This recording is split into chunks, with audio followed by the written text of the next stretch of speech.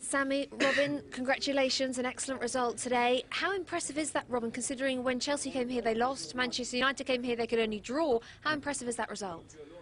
Very impressive, in my opinion. Uh, Birmingham is a great side. They work unbelievable hard, and uh, as you said, they uh, they've got points from uh, from big games. So um, we knew that before the game, so that's why uh, yeah we had to uh, add our level since last game, and I think we did. Everyone worked quite hard for each other, and we got some good goals.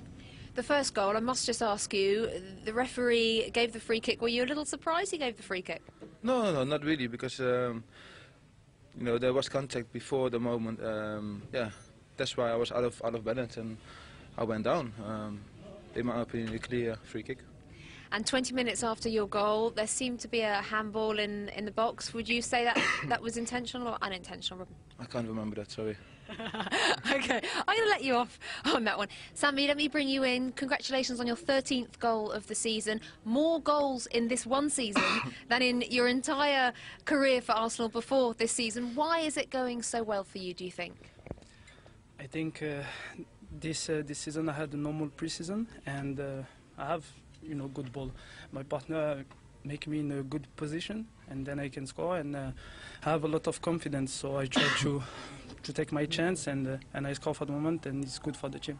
And just finally, Manchester City on Wednesday, two points behind them you are now, so beat them, you go second. That's a big game, Robin. It is, yeah, it is. It is a big game. Man City has a great side, and uh, we have a great side as well. So it's game one.